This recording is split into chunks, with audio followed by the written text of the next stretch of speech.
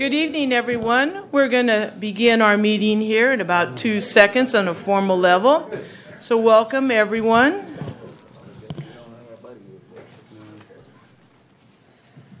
All right. I hereby call this meeting of the Sacramento Metropolitan Fire District to order. And uh, would you please stand with me for the Pledge of Allegiance? I pledge allegiance to the flag of the United States of America and to the republic for which it stands, one nation, under God, indivisible, with liberty and justice for all. Thank you all very much. We now have our Metro Cable announcement. The open session meeting is videotaped for Cablecast on Metro Cable 14. Replay on Saturday, March 24th, 2018 at 12 noon, and Monday, March 26, 2018 at 6 p.m. on Channel 14 webcast at www.sacmetrocable.tv. The open session meetings are also available for viewing on the district website at www.metrofire.ca.gov. We now come to the public opportunity to discuss matters of public interest within uh, district jurisdiction, including items on or not on the agenda. Madam Speaker, do we have any? Uh, it does appear we have one speaker this evening. Uh, welcome. Sir, if you'd like to step up to the podium, I'll make sure the microphone is on and I think this is. Uh, give you a moment to speak. Hello. Welcome, Ray. Nice to see you. I'm Ray Reilly. I am on the board of the Citrus Heights Water District, but I'm not here to address that issue. Right now, I'd like to thank your board clerk, Melissa. I live on Larkspur Lane in Orangevale, which is just near Oak and Kenneth. And we had somebody decide to put a, a uh, speed bump on the end of the street. And I requested from the district because the county doesn't have a apparent authority on a non county road, but I know fire equipment needs to get up and down the road. So I requested that you take a look at this and see if we can have this uh, impediment removed. And shortly after I sent the email, I got a call, and I believe the issue is being addressed. And I just wanted to thank you for the timely response because it's I sitting on a board. I understand how the public hits you with stuff, and they don't always come back and acknowledge the good work that's been done. It hasn't resolved the issue yet, but I look forward to seeing that happen soon. Well, thank you very much for the feedback loop. It's greatly, greatly appreciated, and thank you, Madam Clerk, for following up on uh, Ray's issue. Uh, Thank you very much. Take care. Okay. We are now on uh, consent items, and if there are no Madam questions. Chair, I move approval of the consent agenda. I'll second. Moved and seconded. Madam Clerk, please call the roll. Director Gale. I didn't hear, I didn't hear what it was. Okay. Director Goold. Uh, uh, That's okay. Uh, Director Gale, we're on the consent item. What- what- Which one? The consent items, Uh, Let's see. Yeah. Minutes, and uh, financial services. Probably. Aye. Director Orzalli. Aye. Director Sheetz. Aye. Director Wood. Aye. Director Clark. Aye. Director Kelly. Aye. And Director Jones. Aye. Motion passes. Thank you very much. Moving on to presentation items, we have Fill the Boot for Burns Chiefs Challenge Award. Uh, Mike, Mr. Mike Daw, welcome to the podium. Thank you very much. Got my lovely assistant here, Delaney. Thank you for having me. It's always a joy being here. Um, a little bit about myself. You guys uh, gave me a resolution when I retired a couple years ago, and I didn't say thank you. I didn't know how much, uh, uh, how important that was to me until I hung it in my office. Had a quick little review of my career, and I was um, very thankful to have that. So I do appreciate that. I think that's a very kind gesture. And um, it, we did miss one thing on there, though, and it was very important to me.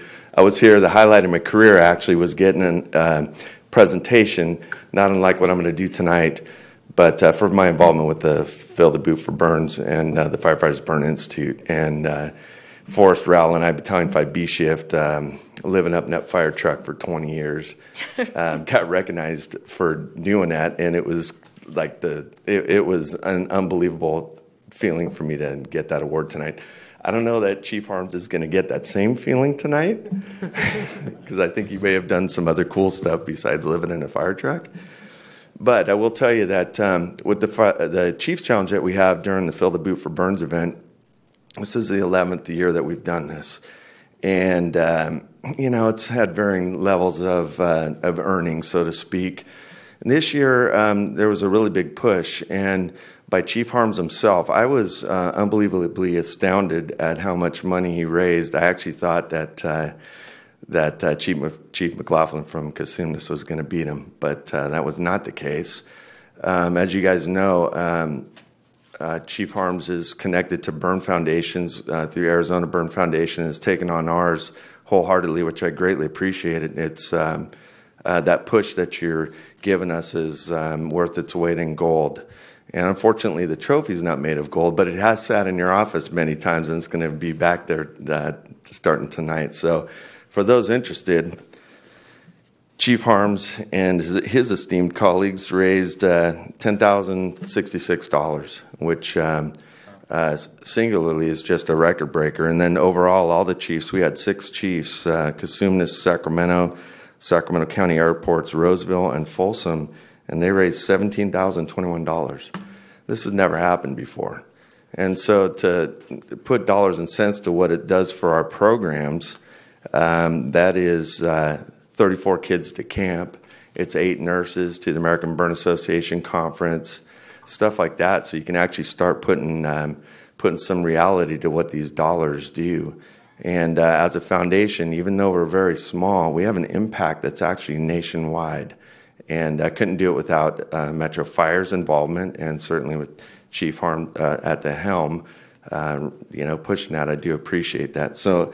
Um, I have a couple at, at my lovely assistant here. So I have a plaque for, for, the, for the district. I don't know where that one goes. And I guess, Chief, you can have all these.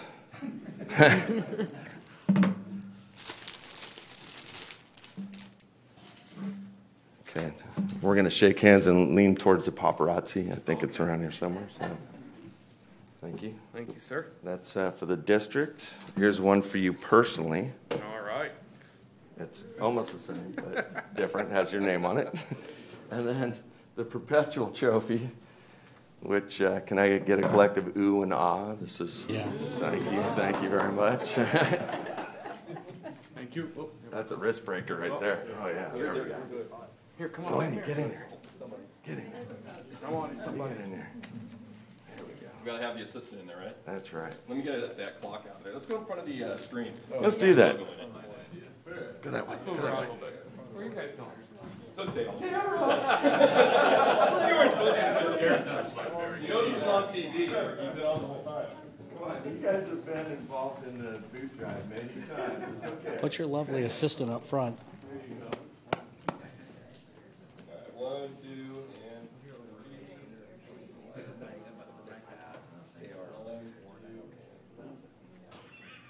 Good. Perfect. No, it's the other show. Thank you very much.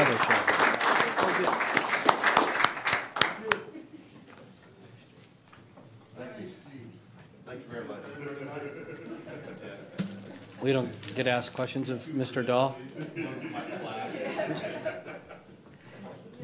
Mr. Dahl, I think he needs to stay there. I don't think we've released him yet.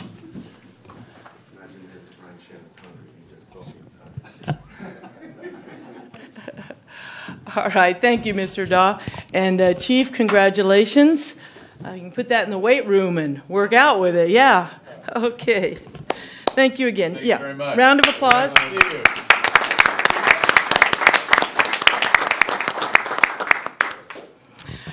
Okay, thank you again. All right, presentation item number two, arson division update. Uh, Assistant Chief Wagaman and Supervising Investigator Barsdale will give us a presentation. Welcome to the podium, gentlemen. Thank you. Uh, Good evening, Tyler Wagaman, Assistant Chief Operations on the B Shift, as well as the distinct honor to oversee the Fire Arson Investigations Unit. Uh, Recently, we we- received a request from Director Orzalli uh, to provide the board with some specific information uh, regarding the investigations unit operation as a whole. Supervising Investigator John Barsdale has worked hard putting together a presentation for you this evening.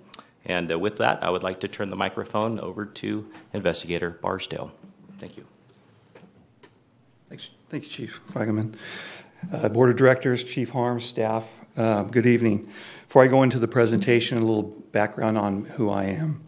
Uh, my name is John Barsdale. I'm the supervising investigator for, for the fire investigation. I have been with the agency about 20 years now. Um, my family has been involved in the fire service for over 50 years in this region with successor districts. Um, I'm married to Lisa Barzo, who's a deputy fire marshal in CRRD, and my brother Brent works at Station 106 B shift at, on the truck as the engineer. You've all seen me over the past five years as director of 522. I've been managing the fire investigation unit for the past four years.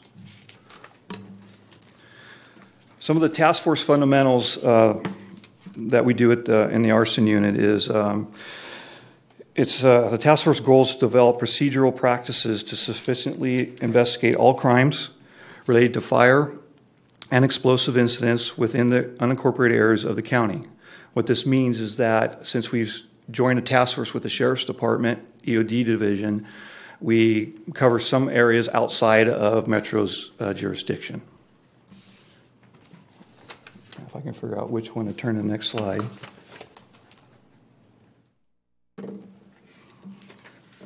Okay. A little bit of a background in history. In the late 80s, local fire agencies took over fi- uh, full fire investigations in the county of Sacramento. The Sacramento Sheriff's Department did not have dedicated staff to investigate the growing number of fires occurring in the county. The American River Fire District and the Sacramento County Fire District were the largest two agencies in the unincorporated areas of the county with the dedicated fire investigators. American River had two full time investigators, augmented with fire inspectors as needed and clerical. Uh, Sacramento County had two full time investigators at the time of the merger. With the merger of both agencies in 2000, the division consisted of four full time investigators, one supervisor, three investigators, with one full time clerical.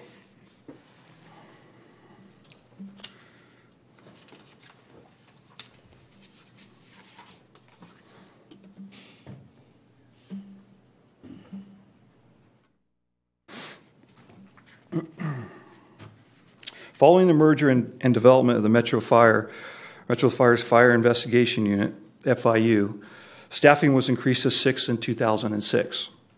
The staff changed to 24 hour shifts to, to provide investigative services around the clock to reduce after hour response times. In 2009, due to the downturn in the economy, the FIU was reduced to 70% by 70%. The staffing consisted of a supervisor, two investigators spread across three sh- shifts. The FIU lost three investigators, one juvenile fire setter coordinator, and clerical.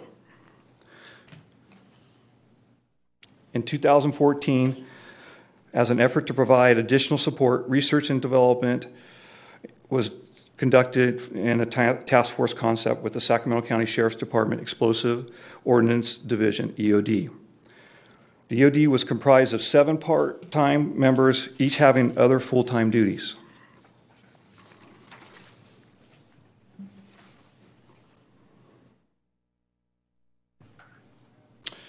After much discussion and planning, a proposal was presented to the County Board of Supervisors for funding the necessary sheriff deputy positions to fully staff the task force. The County Board approved the staffing one sergeant, two, two detective positions for the task force. The current staffing for the arson bomb task force is one supervising investigator, two fire investigators, one on each shift for 24 hour shift or 4896. One EOD sergeant and two EOD detectives, which work a 10 hour schedule, a 410 schedule days, Mondays through Thursdays.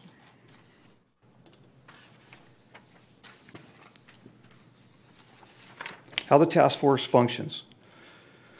The three Metro members of the FIU work a 4896 schedule responding to calls for service. The investigations, investigators' primary duties is to determine the origin and cause of fires in the district. The three EOD detectives assist with large scale fire and scenes, investigations, and conduct follow up on cases. All respond to active shooter and civil unrest incidents.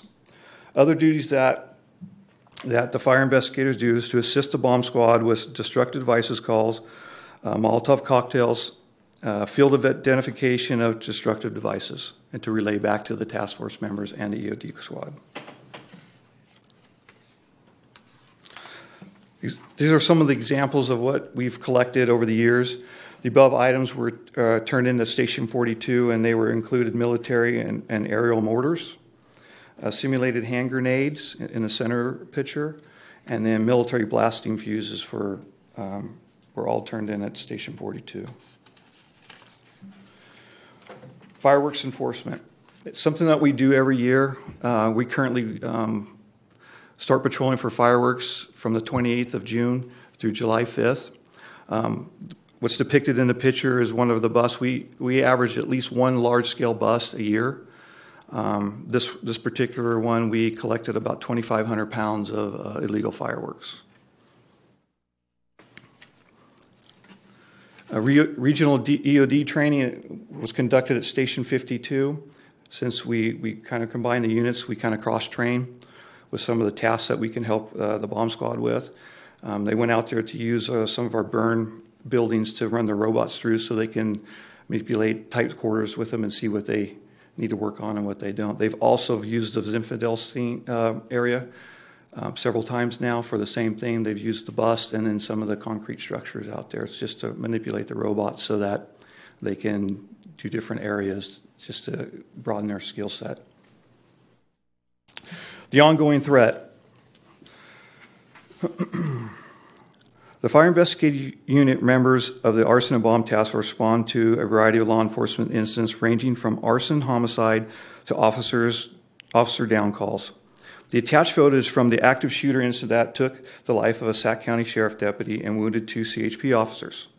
Five members of our arson task force were among the first on scene. The ongoing relationship our investigators have with local law enforcement has been advantageous in large scale incidents to help mitigate all types of incidents. Note the fire engine in the background of the photo, upper right hand corner. Training. The members of the Fire Investigation Unit train to the same standards as the Sacramento County Sheriff's Department members. All weapons and qualification training is provided through the Sheriff's Department. Members are required to qualify on a biannual basis. Advanced Officer Training, AOT, is offered to fire investigators on a biannual basis through the Sheriff's Department. Continuing fire investigation training is provided by the California Conference of Arson Investigators on an annual basis, as well as updated fire investigation training through the SAC Regional Arson Task Force. Uh, some of the training is butane oil labs, uh, updates on NFPA 921.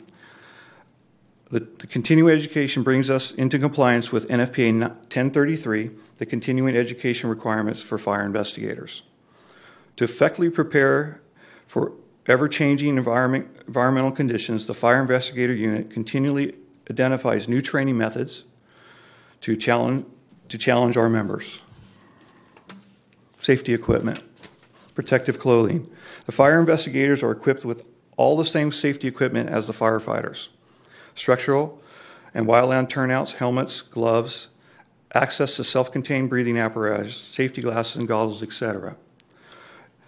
We also adhere to the Sheriff's Department's general orders as said, and we have adopted, or pretty much it's their, their policy manual on how they conduct and do their investigations. Under the general orders, Metro Fire has adopted the Sacramento County Sheriff's Department general operation orders. The district provides its investigators with the same safety equipment that is issued to patrol level deputies tactical vests, ballistic helmet, chemical agent, handcuffs, impact weapon, sidearm, and patrol rifle. This is the current, with the exception of Mike McGee, who's between uh, Investigator Johnson and myself. He retired in December, and I'm proud to announce that um, Chris Rogers uh, from Sonora, he went through our testing process and he'll be starting with us the 11th of next month. And that's the end of my presentation. If there's any questions. Any questions from board members? Director Rosali? Well, uh, John, thank you so much for this. Um, I know I was a major pain in the rear uh, in bringing this about, and I apologize for that a little bit.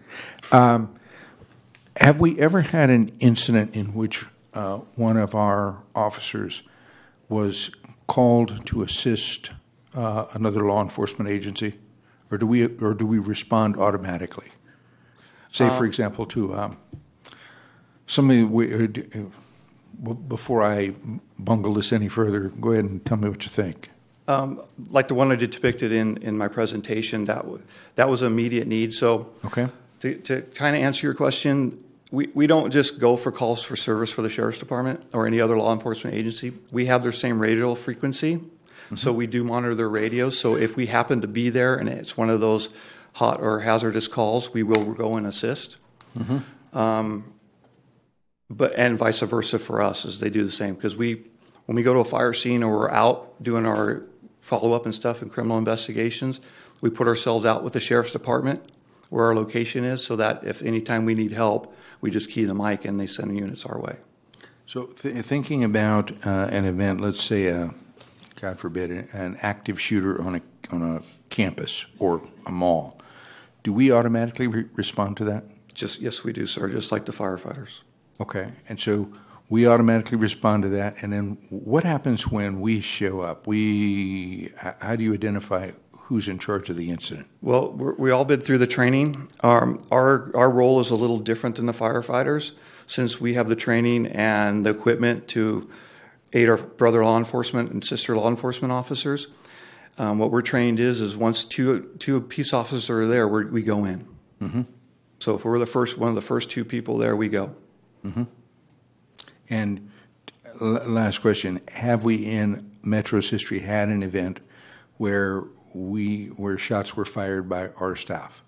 Never. Uh, well, John, I, and once again, I apologize for driving you nuts with this. I just think it, that what you do is phenomenally important, mm-hmm. and that it also represents a significant potential liability for the for the department.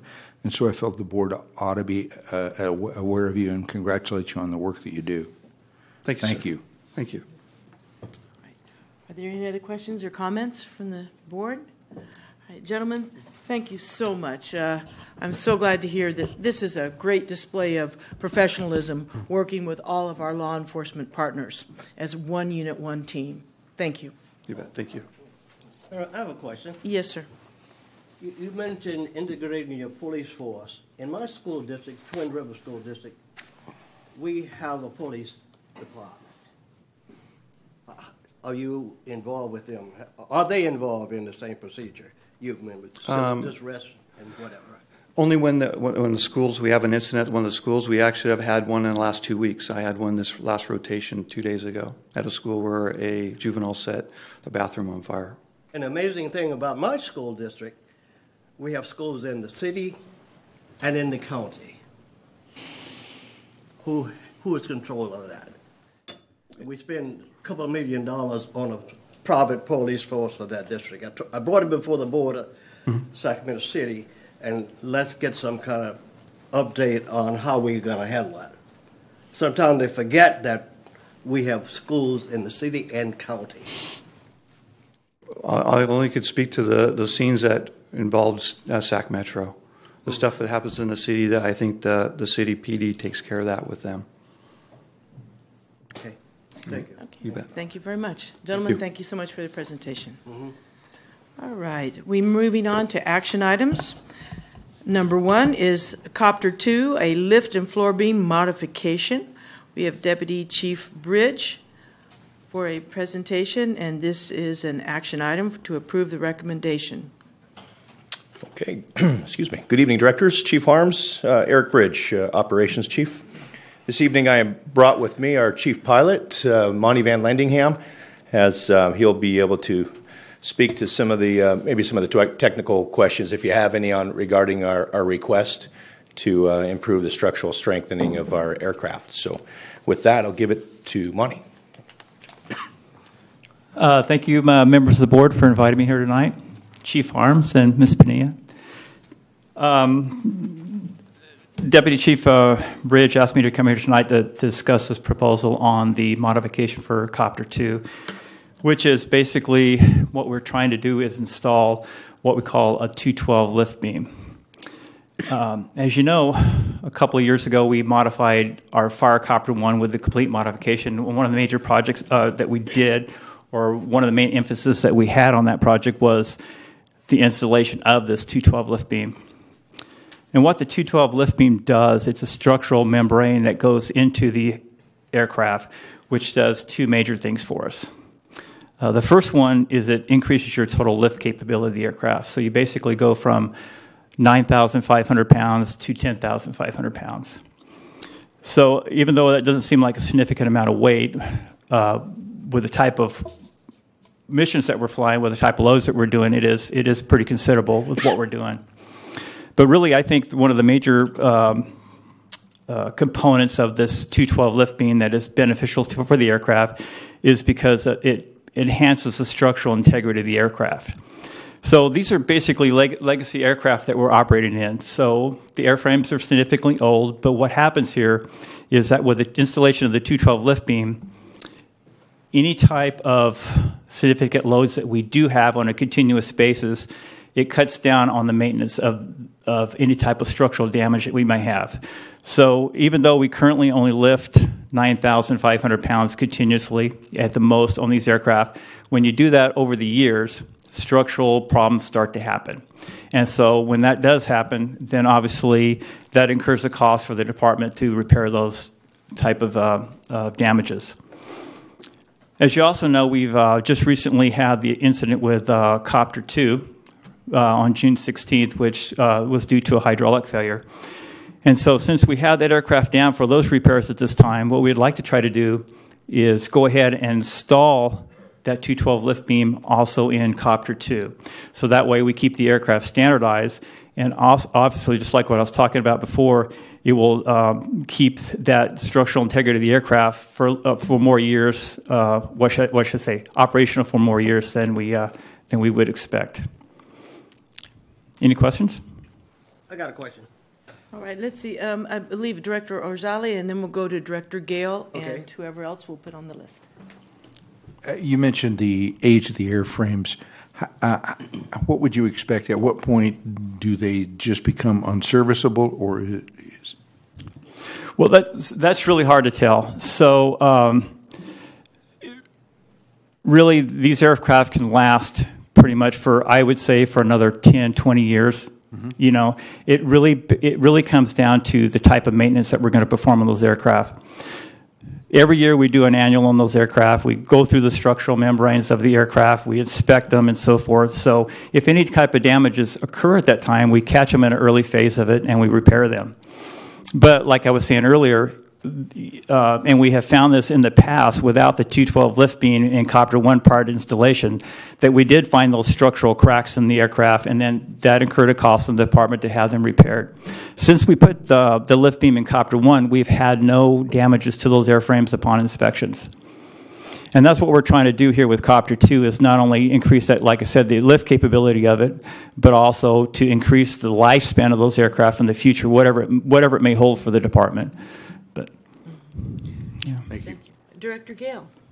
I think that's a great uh, use of money expended on those. There are some Bell era Cobras have been around 40 years. And when you do your x-rays Mhm. and you structure the interior, it'll go on forever, really. It will. It will. Absolutely correct. That's, that's a great mm-hmm. Yes. use of money. Yes, it is. And, and the other benefit to having the 212 lift beam now, we weren't actually, to tell you the truth, we, were, we weren't actually anticipating putting that lift beam in for another two to three years. But since we had the aircraft incident we're trying to take an unfortunate incident and make it better by, okay, now it's tore down, it's completely open, there's no additional cost to the department to have that beam installed, only just for the part itself. So we're, now we're just trying to take advantage of, of this opportunity here.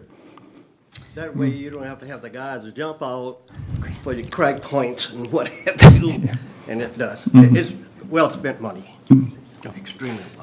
Okay, thank you very much. Uh, Director Goold? Madam Chair, thank you. I, I was just going to say, I think that's really the key point right here is that given an unfortunate situation that the copter experienced, we're at a position where this is the ideal time to do it. And I think it's important that the, the public understand that y'all weren't just sitting in the hangar deciding what you could do to make copter 2 more pretty, is that this is down under for repair for something that was already uh, uh, had been accomplished. And so I think this is a, as, as my colleague has said, I think this is a really great time to expend this, this uh, preventative dollar, uh, and I think that will help us. So I'm fully supportive of the motion, Madam Chair. All right, thank you very much. Any other comments or questions? All right, Chair will entertain a motion for approve, to approve the expenditure totaling 1,021, uh, $121,865.60 for the Madam lift Chair. beam and floor beam. I'll make that motion that we uh, adopt uh, staff's recommendation. Second. It's been first and seconded. Madam Clerk, would you please call the roll? Dr. Gale. Yes. Goold. Aye. Orzalli. Aye. Jones. Aye. Wood. Aye. Sheetz. Aye. Clark. Aye. And Kelly. Aye. Motion passes. All right, thank you very much. Thanks, Director. And uh, good luck. You won't need it because you take care of all the have-to-dos. Luck's all we do. Yes, sir. All right, our second action item of the evening is the Sacramento Local Agency Formation Commission nominations for the Consolidated Redevelopment Oversight Board. Uh, And it goes to the uh, board clerk and myself. Melissa, would you like to begin? Sure. Or I can. Go. Good evening, directors and Chief Harms. Um, I'll start this evening with the item of the Redevelopment Oversight Board. Uh, so, what you have before you is the Sacramento Local Agency Formation Commission, or LAFCO, is seeking nominations from special districts to serve on the Consolidated Redevelopment Oversight Board for Sacramento County. Currently, there are more than 400 redevelopment oversight boards throughout the state of California. And effective July 1st of this year, per Health and Safety Code Section 34179, subsection J, the various redevelopment oversight boards in Sacramento County will be consolidated into one. So LAFCO may appoint one member from the special districts that are eligible to receive property taxes. And those special districts were outlined in Table A. They were found on page 16 of your board packet. And you probably noticed that Metro Fire is one of those agencies. And so tonight, in order to nominate a representative and or alternate representative, the nomination must be made by a majority vote during an official board meeting and submitted to LAFCO no later than April 17th. And so that was a little bit of the background on what's before you, and I'll turn it over to Director Jones for the rest of the presentation. Thank you very much, Madam Clerk. Uh, We're following the same selection process as we do for the special district nominations for the two special district seats on LAFCO. Uh, We, Metro is in a terrific uh, position with a great opportunity to participate in this. And I would like to take this time, this moment, to nominate our uh, Amanda Thomas, our Chief Financial Officer, for the position on the Consolidated Redevelopment uh, Commission. And I would also like to nominate Jeff Fry as an alternate nominee. Uh, If this, if that's the desire of this board, we, we will nominate them and they will, uh, within the next 30 days, I believe, Melissa, there will be a ballot sent out and we will uh, consider uh, selection, the official selection process with any and, uh, any and other uh, nominations on the ballot. So with that, I'd like to entertain a motion for uh, CFO Thomas and Jeff Fry to I have a question, complement. Madam President. Yes, sir. Yes. So, um, anyway, that's, uh, That's my motion. Can I get a second? And we'll have Yes, discussion. I would second the motion. Thank you. All right, open for discussion. Uh, Director Gale? If we, if we remember that the state of California just established that committee at least six or seven years ago, Sacramento County, Sacramento City, some kind of hodgepodge thing they come up with, is still there are no answers.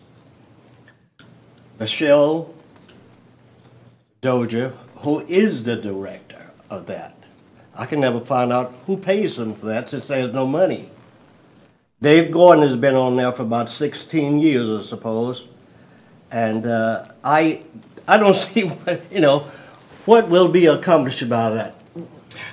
But maybe Mm-hmm. there's an attempt that you know the history of it, and officially there's no such organization. You see Pulu's name there, but Doja is the one who gets the money from the housing, whatever. She does a great job, as a matter of fact. She was a Mobilian, as well as she went to Highlands High School, and I think she was Phi Beta Kappa at Berkeley, as a matter of fact. Michelle Doja is the director. Well, I very much appreciate that background. Uh, This is a, I believe this is state law mandate here that we're dealing with.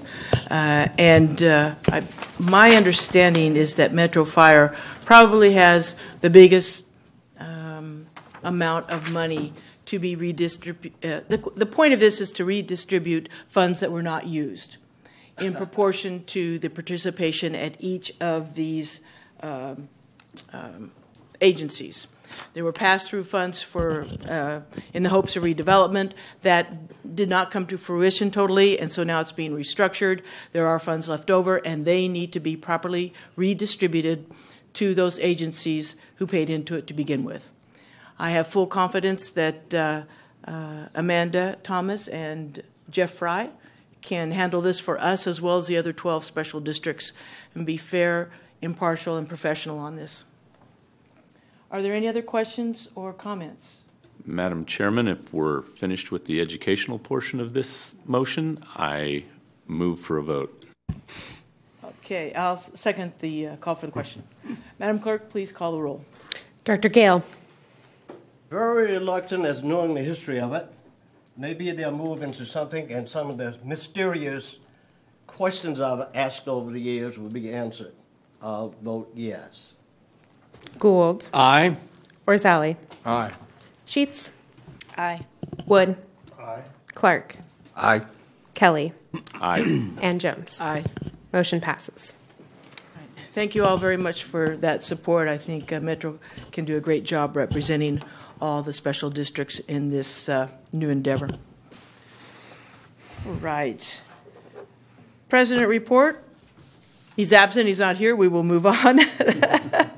The next one is the fire chief's report. Chief Harms and Deputy Chief Bridge.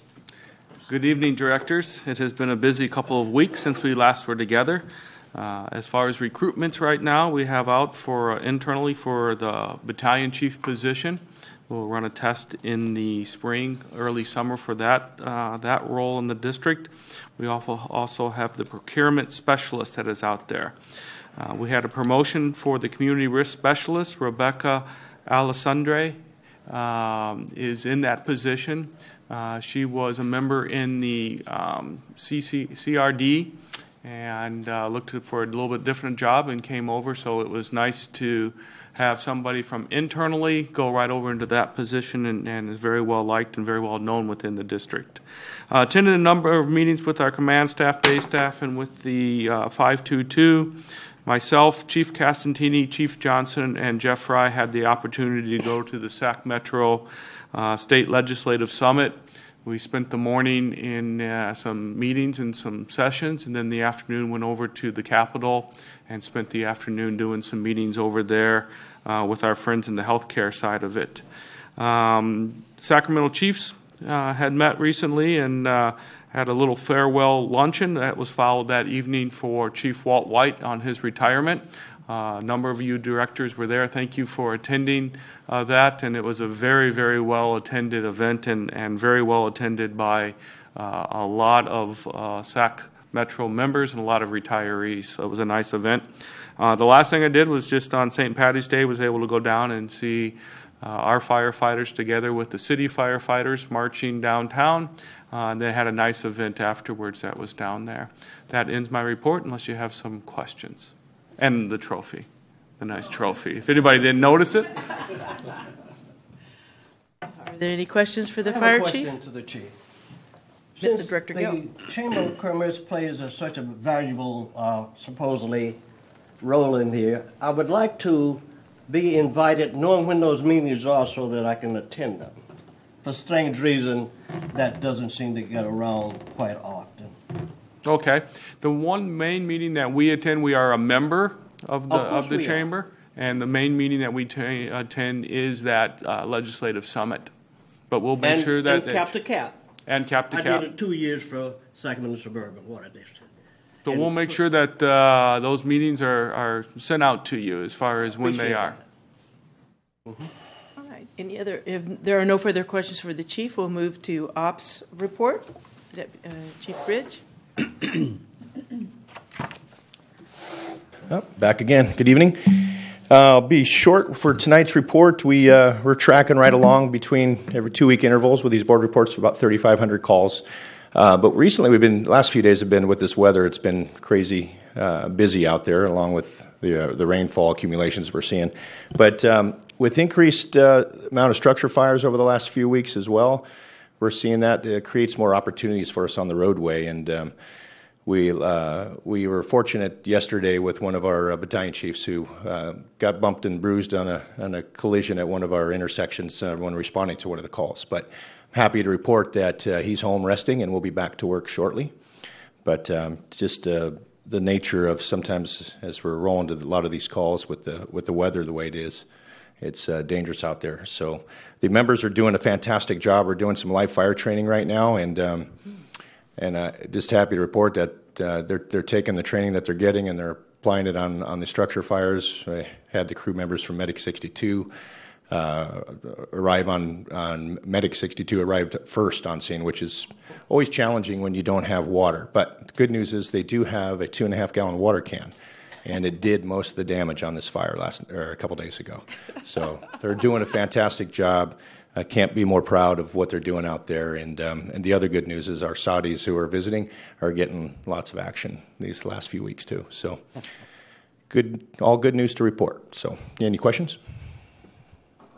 I had a question. Sure. Have the Saudis integrated their fire departments? You know, I remember the time women couldn't drive or whatever. Their uh, are the fire departments integrated now? I'm not as familiar with their operations back in Saudi Arabia, but um, they are integrating very well with our operations. So uh, I, I do know our.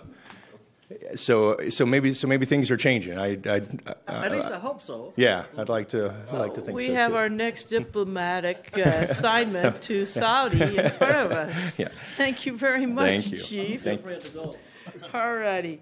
Uh, Next up, uh, reports, SMFD firefighters local 522. Mr. Trevor Jameson, welcome to the podium.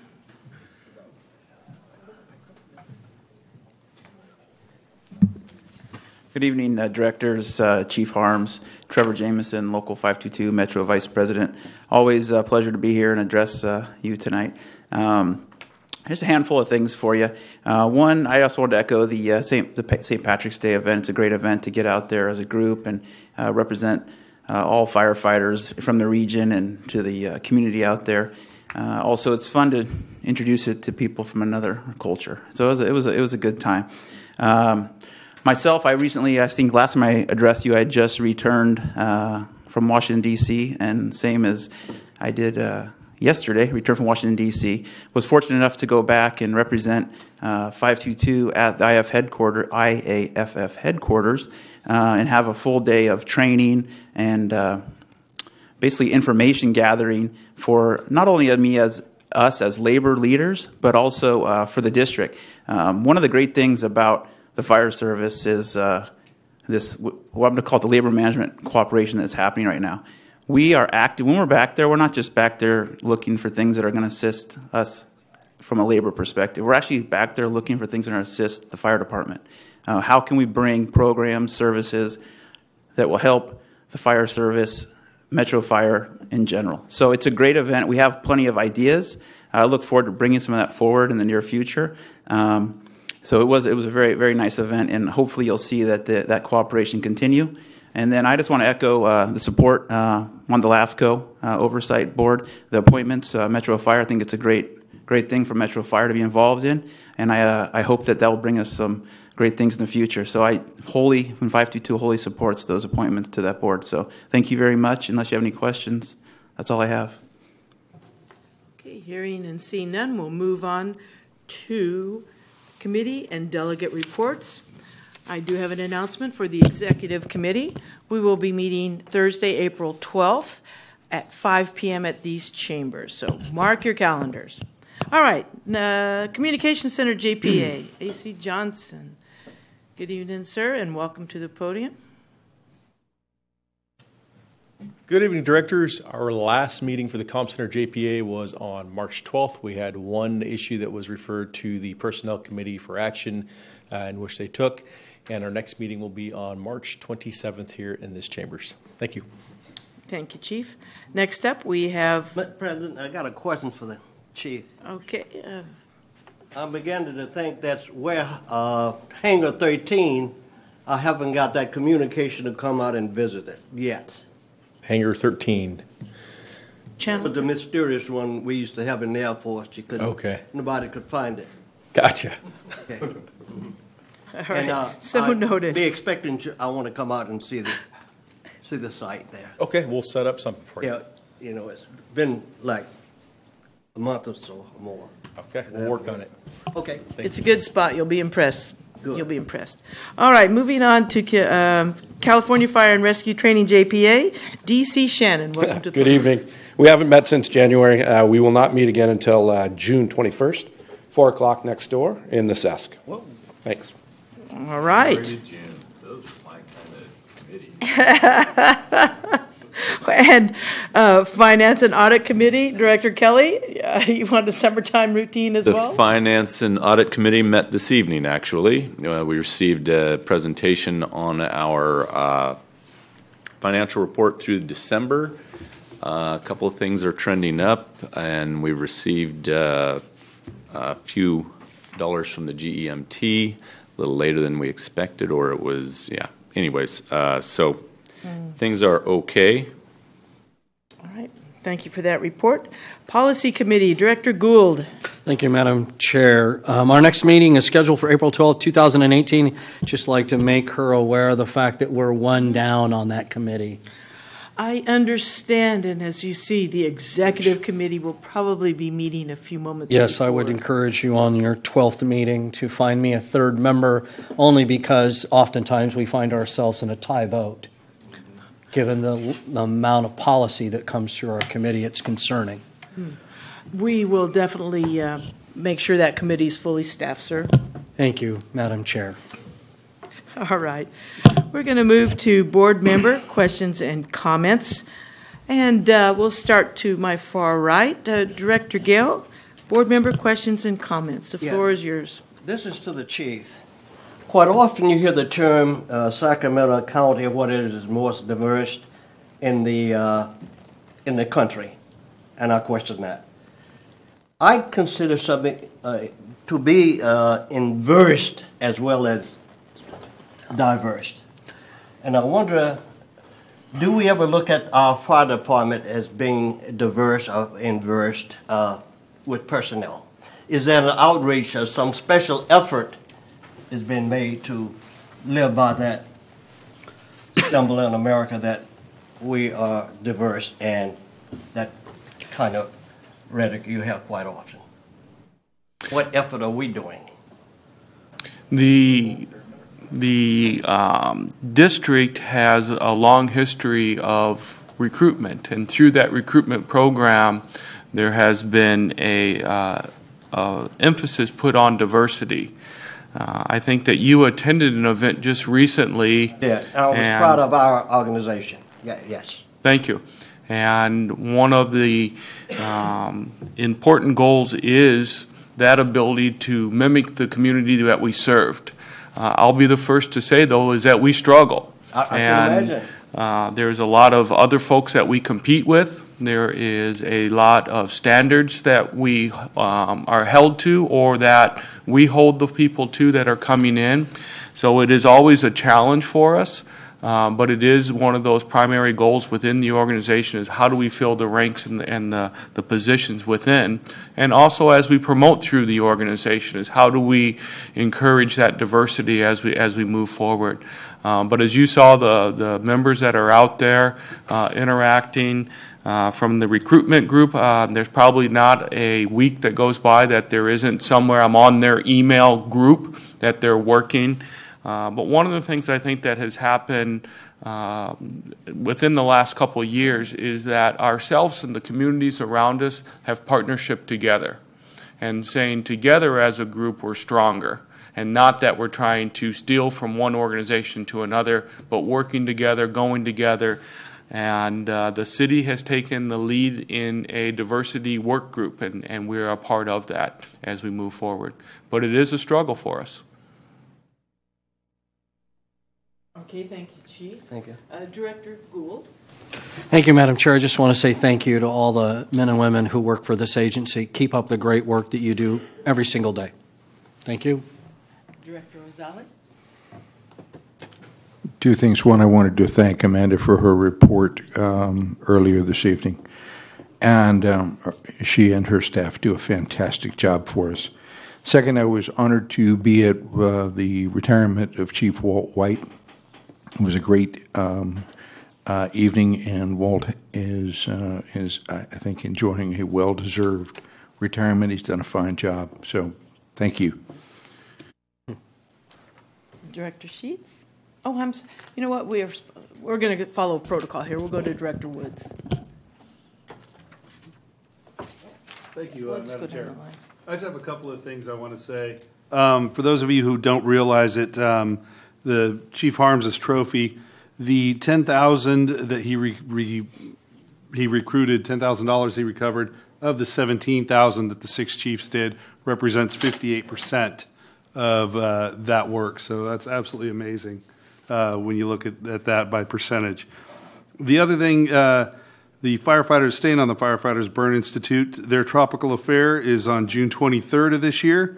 Uh, the boot drive is one of their biggest fundraisers, but Tropical Affair is another one of their biggest ones. And it's it's an absolutely awesome time, wonderful time. It's a no brainer. It's it's so easy to support the Burn Institute by going. Uh, last year we had five of our directors, a number of other staff, you know, command staff and, and members uh, are also there. But uh, from our perspective, I think we need to do better than five of nine, and uh, I hope we do better than that this year. Um, and, and I hope to see all of you there at the Burn at the uh, Tropical Affair.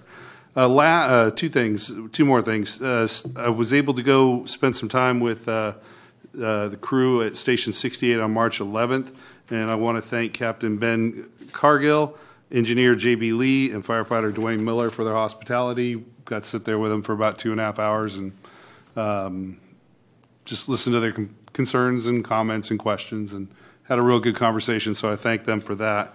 And last, I just want to wish uh, Charlie Jenkins, who's a personal friend of mine as well as uh, one of our chiefs, I just want to wish him a very speedy recovery uh, from his accident yesterday. So thank you. Thank you, Director Woods. Director Clark? Yes, uh, Madam Chair, I don't, I do not have any comments or questions this evening. Thank you. Director Kelly? Nothing from me, thank you. All right. Uh, Director Sheetz? Uh, Good evening. I wanted to thank uh, all the presentations, Investigator Barsdale and uh, the Chief Wagman for your um, presentation. Um, also, uh, Monty um, for the presentation. That was uh, great. Uh, congratulate Chief uh, Walt on his retirement and um, uh, echo uh, the same um, uh, for Chief uh, Jenkins on a speedy recovery. Thank you.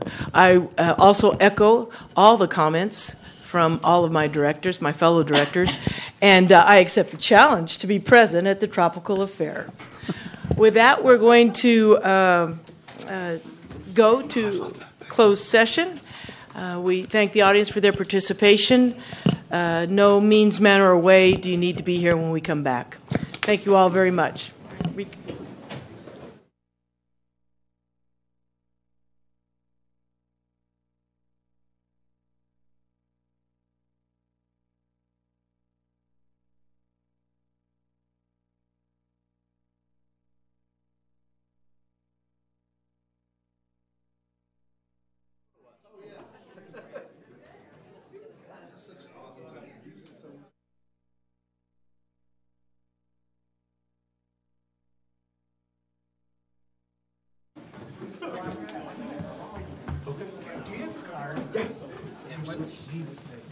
Not cell calls. Do you, do you care about? cell? Oh, no, yeah, please call my cell and only my cell.